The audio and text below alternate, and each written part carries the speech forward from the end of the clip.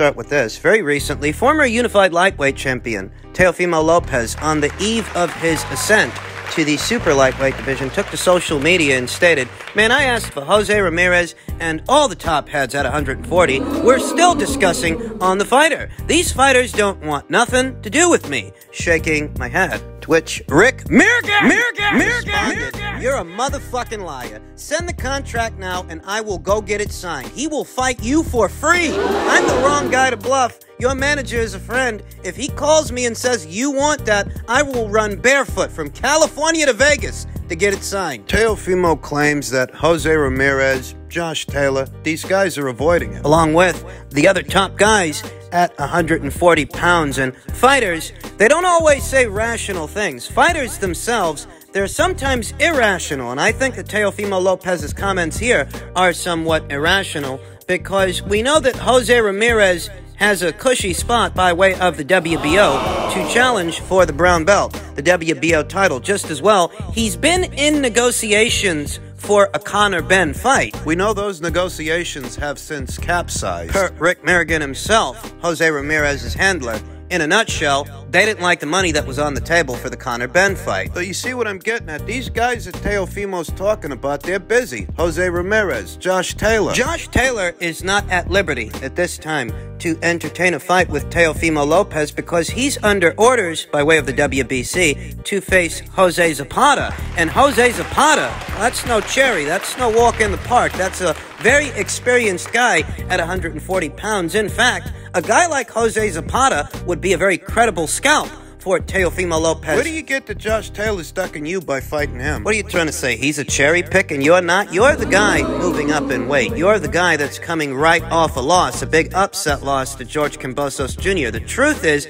now would be the most opportune time for a Josh Taylor or a Jose Ramirez to get Teofimo Lopez in. Now would be the most opportune time to jump on a Teofimo Lopez fight. Teofimo Lopez should be counting his lucky stars that he is fighting Pedro Campa in August instead of one of those fighters because a fight with one of those fighters at this point for him is a very risky fight. He's rebounding off the loss to George Kambosos Jr. We don't even know if he's in the right headspace right now. What we do know is he's being a bit irrational. Josh Taylor is not at liberty at this time to fight Teofimo Lopez because he's under orders by way of the WBC. Before that, he was under orders by way of the WBA and he had to vacate that title. You want him to vacate another one? You want he should chuck that title just to give you what you want? Who are you? No, this is what got Teofimo Lopez in hot water in the lightweight division. He was getting ahead of himself. Yeah, getting ahead of himself, worrying about the wrong things at the wrong time. Having conversations with Eddie Hearn about a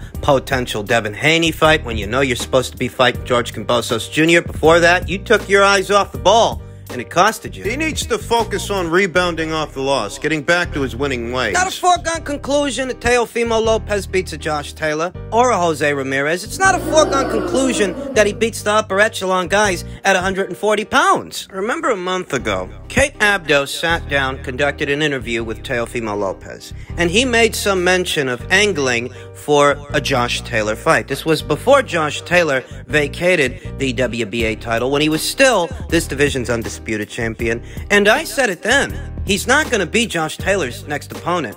Taylor versus Lopez, it ain't next. Teofimo's not in line for that fight. By way of all four alphabet sanctioning bodies, there are one or two guys ahead of him in the queue, and he doesn't just get to cut ahead in the line because he wants to. And when he doesn't get what he wants, that doesn't mean he's being avoided. That means he's got to wait his turn. More importantly, he's got to get himself back in the winner's bracket before he starts worrying about challenging for world titles. It's good that Teofimo Lopez is hungry. It's good that he wants these big fights with these big names at 140 pounds because in a short amount of time, he won't have to go looking for them they'll come looking for him. How do you think those guys are looking at him right now? These battle tested 140 pound fighters and former champions. How do you think they're looking at Teofimo Lopez right now that he's coming off a loss and moving up in weight? I'm telling you, in a little while, he won't have to go looking for them. They'll come looking for him. Anyone that can really beat Tank is only me. I guess I gotta do it. When you want Nobody can. Nobody could do the job, man. I gotta do it. All right, man. He knows what's up. He a free agent, ain't he?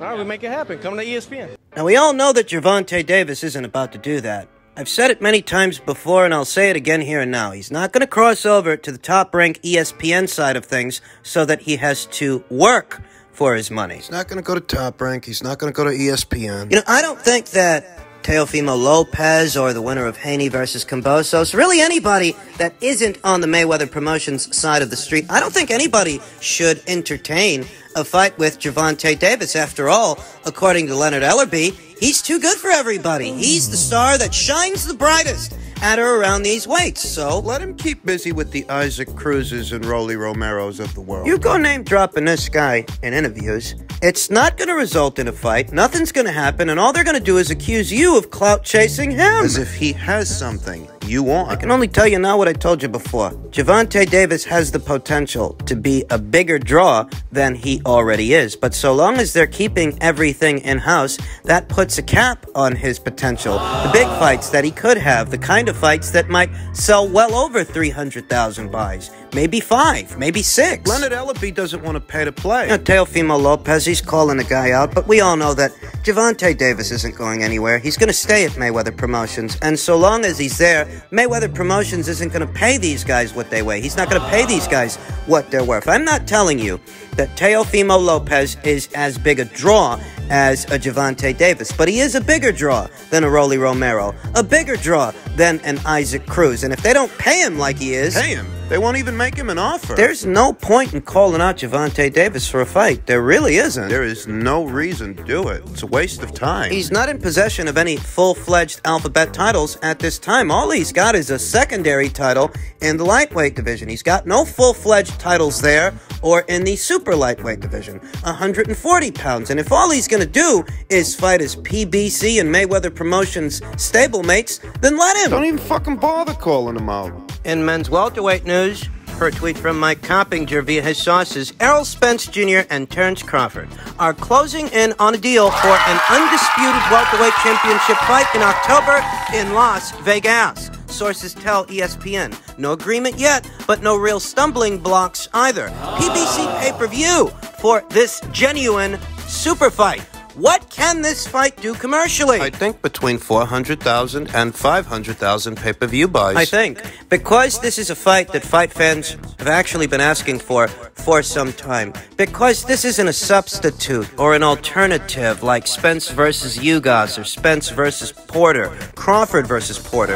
Because this is the fight that many people have wanted for some time. I expect this fight to do better commercially than any fight Spence has been a part of in the past, and Terence Crawford as well. Conventionally, Errol Spence Jr.'s numbers hover around north of 200,000 buys. Terence just put up his best numbers with Shawn Porter, a little over 130,000 buys. 225 to 250 from Errol, another 130 from Terence Crawford, and an additional, let's say, 100,000 from the synergy that their fight creates, the way it can take on a life of its own. If it's promoted properly on the Showtime platform. Hell, maybe it won't even be Showtime that does the fight. Maybe it'll be Fox. Maybe they're the ones footing the bill. It's not like they've been spending a fuck ton of money on their boxing programming this year. They haven't. Neither Errol Spence Jr. or Terence Crawford command the kind of purses that a Canelo Alvarez does. You ain't got to give either one of these two guys $40 million a fight. You don't. That brings the operational cost. When the guaranteed purses to the fighters aren't astronomical and the operational costs are low. The financial risks associated with putting a fight on,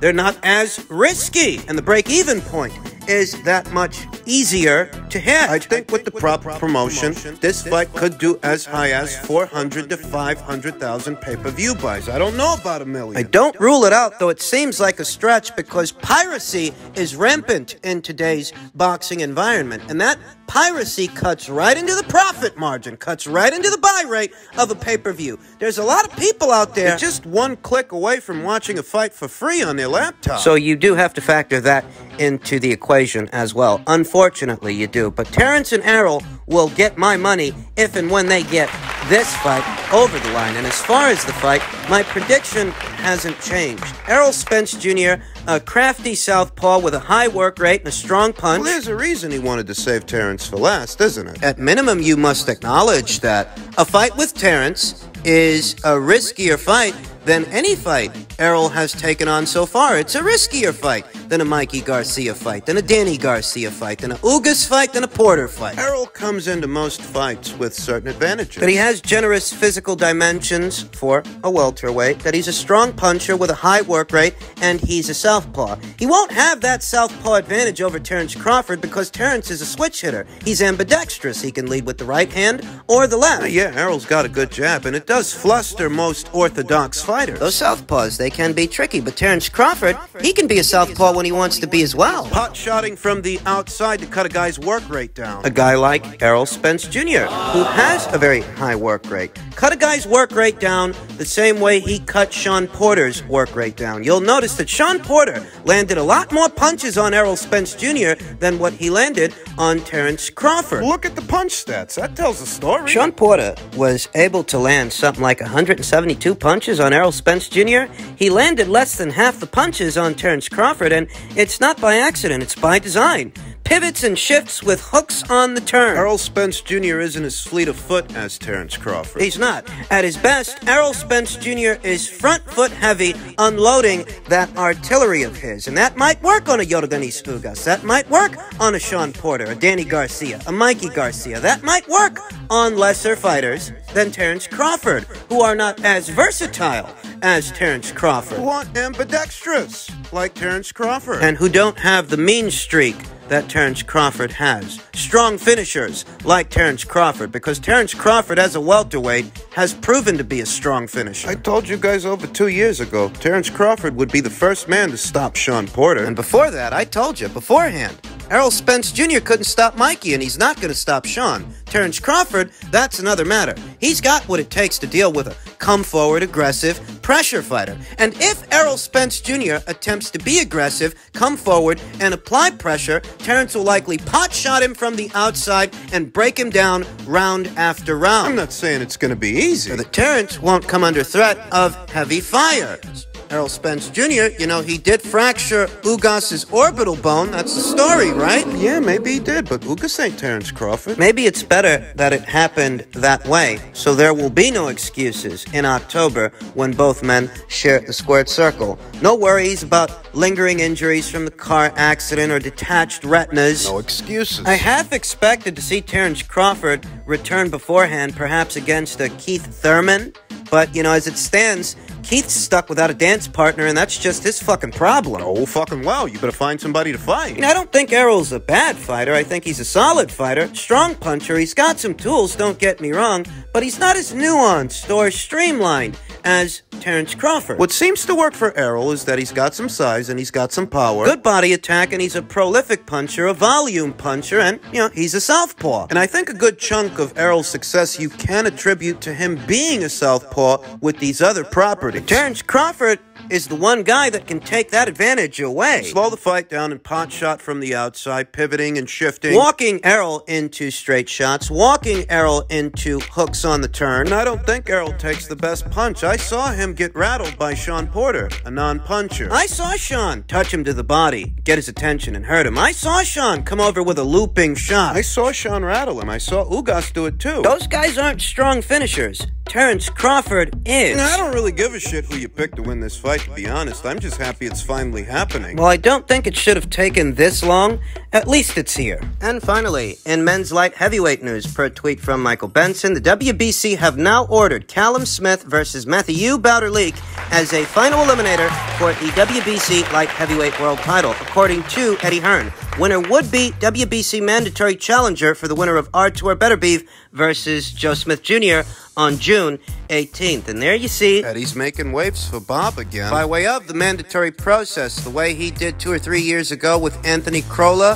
Anthony Crolla, who was Vasil Lomachenko's mandatory challenger by way of the WBA. What Eddie Hearn wanted in that situation was to bring Vasil Lomachenko over to the DAZN side of things. According to Bob, he ended up overpaying Anthony Crolla to keep the fight on ESPN. Eddie Hearn aspired to do that again with Devin Haney back when Devin Haney was Vasil Lomachenko's mandatory challenger, but Bob and the Lomachenko people petitioned for franchise status, and franchise champions don't have mandatories. he may have to do the same thing for the winner of this fight, lest he find himself in a purse bid situation with the people over there at Matchroom, the winner of Artur Beterbiev versus Joe Smith Jr. Well, let's not get ahead of ourselves. Callum Smith's got to win the fight first. Callum Smith is Eddie Hearn's horse in the race, and Callum is going to be taking on Mathieu Bauderlique, French Olympian, French bronze medalist in the light heavyweight division who sports a professional record of 21 wins, 1 loss, with 12 knockouts. He's been stopped at least once. Could get stopped again doing the dance with Callum. You see what Callum did to Lenin Castillo. Hit the goddamn guy so hard he went into a seizure. For perspective, Lenin Castillo had never been stopped, and he's a very big guy as far as light heavyweights go. Both boys were in action in September of last year. Callum was in action against Lenin, and Mathieu Bauderlique was in action against Igor Mikhalkin. For an Olympic bronze medalist, Mathieu Bauderlique really hasn't made a splash. He didn't create the buzz that these Olympians often create when they decide to go pro. For the most part, Mathieu Bauderlique has been flying relatively low in the light heavyweight radar. When it comes to Callum. Now, Callum Smith has paired up with former world champion, veteran trainer, Buddy McGirt. He's got a strong corner, and I think we saw the benefits of having Buddy McGirt in his corner in that Lenin Castillo fight. The way he stopped that guy. He lands that way on anybody at 175 pounds. They're going down. This is a WBC eliminator to crown WBC's mandatory challenger, but whoever wins the fight, presumably Callum Smith, they will still have to wait. Ahead of them is Anthony Yarde by way of the WBO, and even though the fight, the WBO obviously hasn't ordered that fight yet. But after the winner of Beterbiev versus Smith emerges, it's conceivable that either Frank Warren or Bob Arum or both will put the squeeze on Paco to order that fight, at which point the winner of Smith versus Bauderlique, they're going to have to wait. I don't anticipate the winner of Smith versus Bauderlique gets a crack at any one of those belts until sometime mid to late next year. Plenty of time for Uncle Bob to petition for franchise status for either Joe Smith Jr. or Artur Beterbiev. put the kibosh on Eddie Hearn's potential plans to bring that champion and bring that fight over to DAZN.